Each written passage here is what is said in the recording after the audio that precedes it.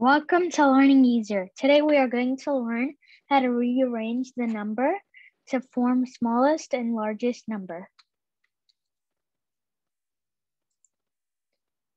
Here rearrange the given number to form smallest number and largest number. For example, if the given number is 76,892, to form the smallest number, start writing the number from smallest digit to largest digit. To find the smallest number, we first have to find the smallest number in 76,892. The smallest number is 2. Next smallest is 6, then 7, then 8, and the largest is 9.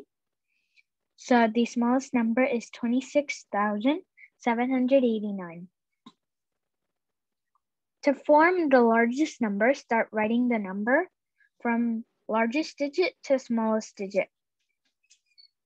So first, we have to find the largest digit, which is 9, then 8, then 7, then 6, then 2. So the largest number is 98,762. Rearrange the numbers. 2,793. The smallest number is first, the smallest number is 2, then 3, then 7, then 9. So the smallest number is 2,379. Largest number is 9, then 7, then 3, then 2. So the largest number is 9,732. 57,485.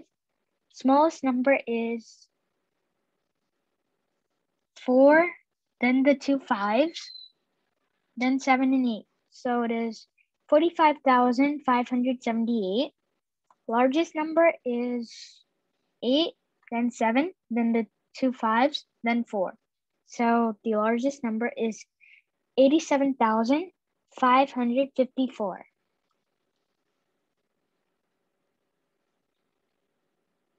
Here, let's do 5,740.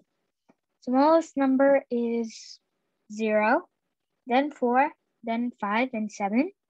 So the smallest number is 457. And the largest number is 7540. So 7,540. 38,295. Smallest number is 2, then 3, then 5, 8, and 9. So smallest number is 23,589. Largest number is 9, 8, 5, 3, and 2. So the largest number is 98,532.